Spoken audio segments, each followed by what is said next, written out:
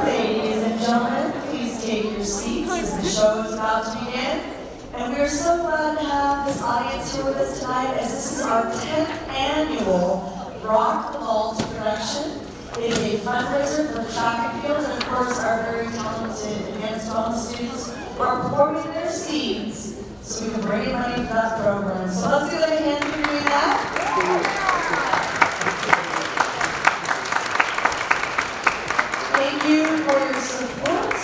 We hope you enjoy the show.